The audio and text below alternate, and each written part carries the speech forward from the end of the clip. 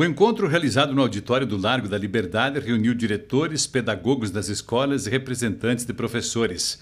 A intenção foi conversar sobre o retorno gradual às aulas presenciais, mas com segurança no que se refere às medidas de contenção ao novo coronavírus. O Ministério Público também acompanhou o encontro através da promotora Vanessa Escopel Bonato.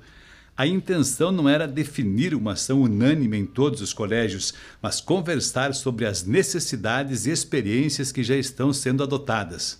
O Núcleo Regional de Educação vem trabalhando junto com os gestores, junto com os municípios, para o retorno às aulas presenciais, dentro das possibilidades da realidade de cada município, né, de cada escola também cumprindo os protocolos da biossegurança, dentro de uma segurança para a comunidade escolar também, mas com a preocupação tanto da realidade do aluno que quer voltar no sistema presencial, do que aquele aluno que quer ficar no sistema remoto. Então, essa discussão pra, de hoje é uma sensibilização realmente para os problemas que a gente está vivenciando na educação, mas também com as possibilidades de um retorno presencial das aulas. Nos 15 municípios que pertencem ao Núcleo Regional de Educação de Pato Branco, ao todo são 72 escolas, nas quais estudam 27 mil alunos.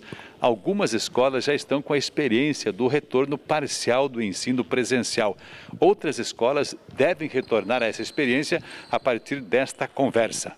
A diretora auxiliar do Premem, onde há uma experiência de retorno presencial no curso de técnica de enfermagem, falou sobre o trabalho realizado. Tem sido de uma forma tranquila, porque são poucos alunos, né? Nós estamos organizando em grupos menores, em espaços maiores da escola.